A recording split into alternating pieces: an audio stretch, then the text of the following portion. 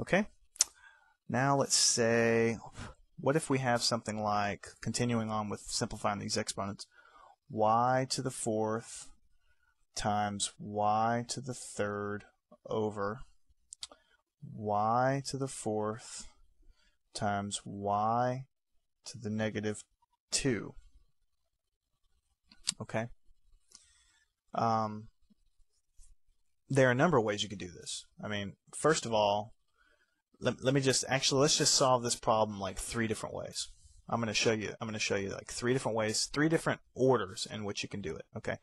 First of all, notice I've got this is method number 1. Okay? Method number 1.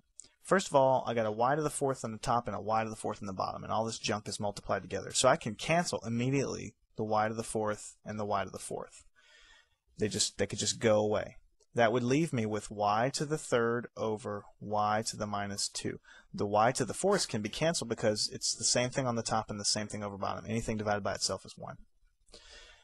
Then further, I can move the negative the y to the negative 2 upstairs, and that would give me a, a y cubed times y squared. I just moved it upstairs and made it positive. And then to simplify this, 3 plus 2 is 5. So that would be y to the fifth. That is the answer. That's method number one. I canceled these first, and then I proceeded. Method number two, let's say I don't cancel these first. Um, I'm going to show you something else. Well, what if I combine the exponents in the top and I combine the exponents in the bottom? All, you know, you can look at it here. They're all exponents involving y. So on the top, if I simplify that first, that would be y to the 7, because 4 plus 3 is 7. And on the bottom, even though it's negative, that's okay. I can still add it, just like I can do with all exponents. So that would be y to the positive 2, because 4 plus negative 2 gives me 2. Okay? And then when I simplify this, it's simply going to be y. 7 is bigger, so what's going to happen is I'm going to cancel all of these. 7 minus 2 is 5. So I'm going to be left with y to the fifth, because 7 minus 2 is 5. All of the 2's go away on the bottom. They get sucked up canceling two of these two of these y's up here, and I'm left with five y's up there. And then the third way is to move the two upstairs first. So let's say I do that. I've got y to the fourth times y to the third, and I can move the two upstairs, so that's going to y squared. I can move it upstairs. It's going to be y squared, positive 2. I moved it upstairs, over y to the fourth. Okay? And let's say I simplify this. This is going to be y 4 plus 3 is 7, 7 plus 2 is 9, y to the ninth over y to the fourth. As I added these up, gives me y to the ninth, y to the fourth in the bottom. And this, the way I simplify this is I just subtract the exponents. I've got an exponent divided by an exponent. It's the same base. It's going to be y, 9 minus 4 is 5. So you see in all three cases, I got exactly the same answer. So you're going to find in algebra that that's going to be the case a lot of the time. That there's going to be a few different ways to solve the problem at hand. And your way may be different than the teacher's way. In fact, your your may your way may be better or even simpler or different or heck even even longer and more complicated than the books. But that doesn't mean that your way is incorrect. Okay, let's say I've got x to the negative 4, x to the third, cubed, let's say. Um, okay, how, how am I going to go ahead and do this? Well, first, I'm going to simplify the inside. I've got x to the minus 4 times x to the third. I can simplify that by adding these two exponents. Negative 4 plus 3 is negative 1, and this is all raised to the third power. x to the negative 1 is simply 1 over x, and this is all again raised to the third power. And this is simply, remember when you have a fraction raised to an exponent, it's 1 raised to the third power over x raised to the third power. You just put the power to, to the top and the, and the bottom separately. 1 times 1 times 1 is simply 1 over x to the third. And that's the answer. Well, what if I have a to the minus 2 times b to the minus 3 over negative, I'm sorry, raised to the negative fourth power. Okay. Again, I'm going to show you uh, a couple of different ways to do it. Or not a couple of different ways. I'm going to show you a different way. I could, you know, take these and I can move them downstairs and then I can flip the fraction around and all that. But this way, I'm just going to do it just like like typical when I have some something some some some terms in here and they're all raised to the to the power. I can sort of distribute the exponent in to each thing.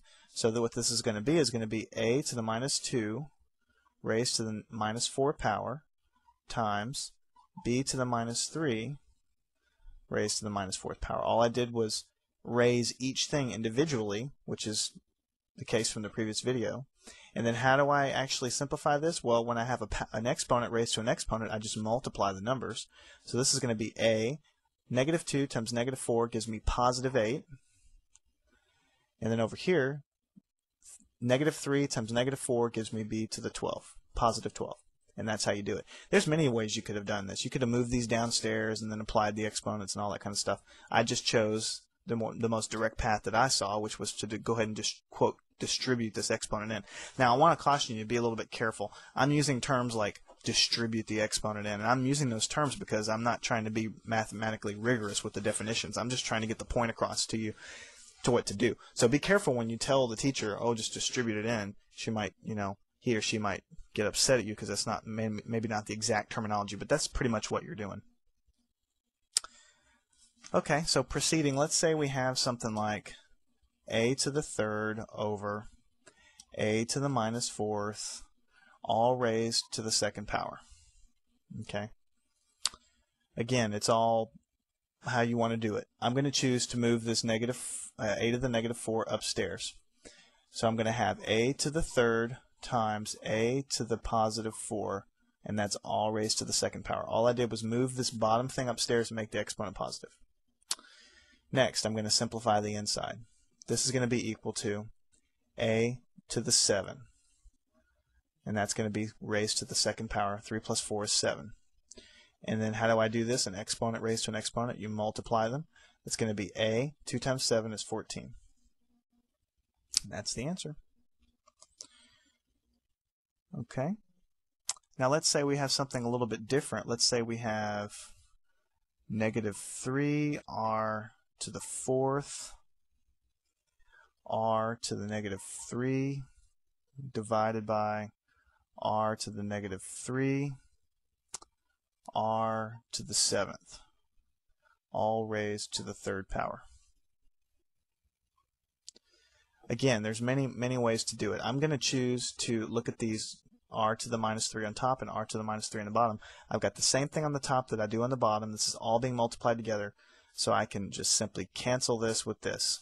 It's the same thing as saying that something times 2 divided by 2, the 2's go away. I can cancel those. So let me go ahead and rewrite it. That's, that's one thing you need to learn from algebra. You need to go ahead and rewrite everything after every step. That will really help you. Notice I, I always do this in the class and I always do it in real life. Go ahead and simplify it. Okay. Now how do we proceed now? Well, I've got these r's on the top and I've got these r's on the bottom. I can simplify that. Again, let me rewrite it. Negative 3. And then I've got four r's on the top, r times r times r times r, and then I've got seven r's on the bottom, you know, r and then times itself seven times. So this entire r to the 4 is going to cancel, and on the bottom I'm going to be left with r cubed because 7 minus 4 is 3. So I've got negative 3 divided by r to the third. And that's all again raised to the third power. I canceled all four of these r's, and I canceled four of the ones down here, and that left me with seven uh, with three left.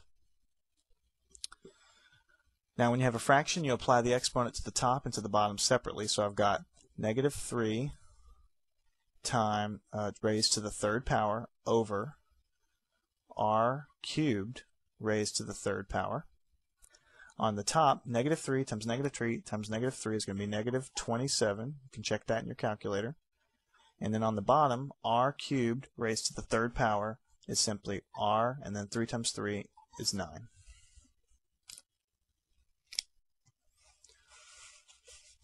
So you see we're making some progress. Not that big of a deal. We're just going to work a few more of these and then I'm going to call this section done. This stuff that we're doing now is bread and butter algebra. Okay, you're going to really get good at this stuff and it's going to make your life easier, I promise. Let's do let's do one a little bit harder. Let's say we've got 18 a squared b to the third c to the minus fourth all over 3a to the minus 1 b squared c. And this entire quantity is raised to the negative 3 power. Okay. Well, first note, I've got an 18 on the top and a 3 on the bottom, so I can divide top and bottom by 3, so I can cancel this 18 and I can write a 6. There's going to be a, you can't really see that. There's a 6 on the top here. Okay. Um, again, I got b squared, b cubed, and I got b squared on the bottom. So I can cancel these b's, and I'm going to cancel that because 3 minus 2 is 1, so I'm going to be left with 1b on the top. Now let's go ahead and rewrite that just to kind of get it all squared away. What I'm going to have is 6a squared b c to the negative 4 over a to the negative 1 c. And this is all raised to the negative 3 power. Okay. Let's say I want to move the c to the 4 downstairs and I want to move this a to the negative 1 upstairs. So that's going to be c a squared a to the 1 b over c times c to the fourth. All I did was move the c to the fourth downstairs and the a upstairs. And this all goes to the negative 3, which is simply going to be 6a cubed, 2 plus 1 is 3, b over c to the fifth. And this entire thing is still going to be to the negative 3 power. And that's the answer. Okay?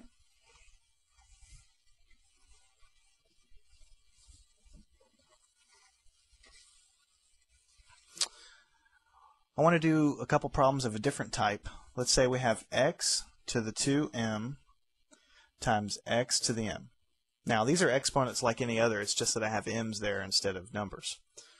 What's this going to equal to? Well, it's going to be m, I mean x, and then I'm going to add the exponent, so I've got 2m plus m, which is simply going to be x to the 3m. Okay, that's how you simplify something that looks like that. And finally, the last problem I'm going to show you, what if I have y to the 3m plus 2 times y to the negative m. How do I simplify that? Well, again, I've got the same base. I'm going to add the, the exponents. So that's going to be y 3m plus 2 minus m. I'll just add the two things. And that's going to be y 3m minus m gives me 2m plus 2. Just like that. And that's about all I had for this section of the class. I mean, again, the whole lesson is centered around these two things. You get these two things straight here, you're good to go. And just pounding in, you know, over and over, how do you simplify exponents? When they're multiplied together, you can add them. Uh, when they're on the top of a fraction, and the bottom, you subtract them and so on and so forth. And this is going to be etched in our brain more and more as we go through the course. Um, pretty much from here on out, we're going to be using these skills.